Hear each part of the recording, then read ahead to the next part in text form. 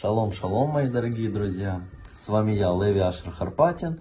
Вас ждет свежая майса перед Шабасом. Это произошло в небольшом еврейском поселении в городе Прага, Чехия. А, жил там один еврей, фермер. Он каждый день работал, давал сдоку, ходил в синагогу, соблюдал шабас. Он был достаточным примером.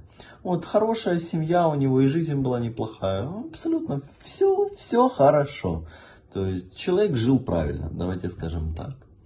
И вот однажды он начал обращать внимание, есть люди, которые убивают, грабят, не, дай бог насилуют. Я это все вижу в этом городе, даже в нашем еврейском поселении. И они живут не хуже меня а некоторые даже лучше. Он себя накручивал этим вопросом достаточно большое количество времени, и позже он решил отправиться к Равину. Он не хотел его до этого дергать, он был достаточно на высоком уровне, Равин очень уважаемый, и он все-таки все говорит, я иду к Равину, мне нужно узнать, потому что я не для себя, я не понимаю все, я не осознаю как это, люди нарушают заповеди Тора, они делают прямые запреты, извините меня, публично, все, они живут хорошо, я этого не понимаю. У меня, наверное, нет такого уровня, как у, как у Рава, все, я пойду. Он заходит в кабинет, говорит, шалом алейхам, Рав, можно зайти. Ему говорят, да, Мэндл, проходи, Мэндл его зовут, звали. Он озвучивает Равину. Это все достаточно не краткой форме, объемной.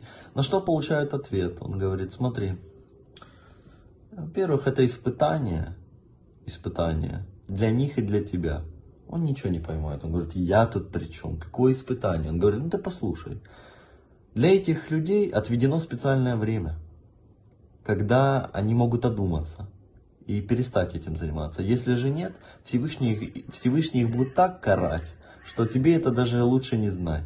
Они будут уничтожены и морально, и физически. Он говорит, понял, а я здесь при чем?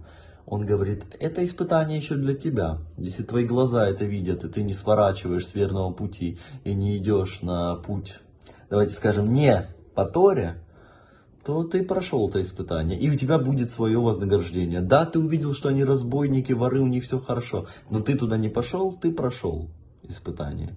Всевышнего.